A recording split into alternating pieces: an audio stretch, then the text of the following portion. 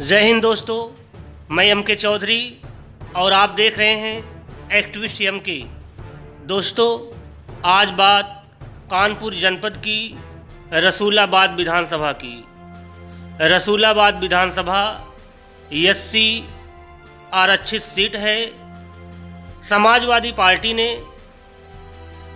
यहाँ के पूर्व विधायक कमलेश चंद दिवाकर को रसूलाबाद से टिकट दिया है।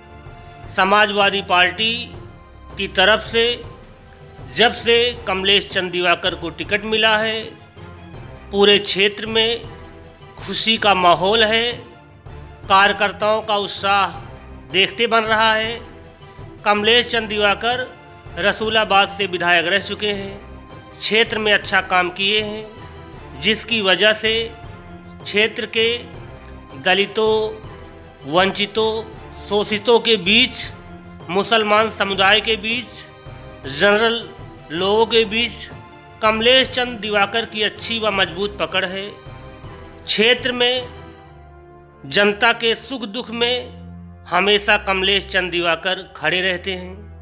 समाजवादी पार्टी ने कमलेश चंद दिवाकर को रसूलाबाद से विधानसभा प्रत्याशी घोषित किया है।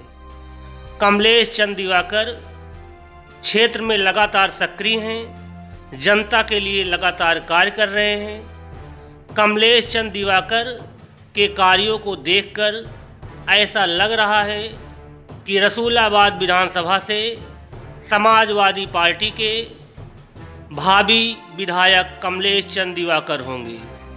कमलेश चंद दिवाकर, जिनका क्षेत्र में एक छत्र राज चलता है, अपने कार्यों व जनता की सेवा के दम पर मज़बूत जनाधार है। समाजवादी पार्टी के राष्ट्रीय अध्यक्ष अखिलेश यादव के मिशन व विजन को रसूलाबाद विधानसभा में जन जन तक पहुँचाने वाले कमलेश चंद दिवाकर रसूलाबाद विधानसभा रिकॉर्ड मतों से जीत रहे हैं। दोस्तों कमलेश चंद दिवाकर, अंबेडकरवादी मूवमेंट के से जुड़े रहे हैं। समाजवादी विचारधारा को लगातार आगे बढ़ाने का कार्य कर रहे हैं। क्षेत्र के लोग कमलेश चंद दिवाकर को अपना विधायक अभी से मान रहे हैं। क्षेत्र के लोग कमलेश चंद दिवाकर को खूब सपोर्ट कर रहे हैं। दोस्तों, चैनल पर नए हैं तो चैनल सब्सक्राइब करिए। धन्यवाद।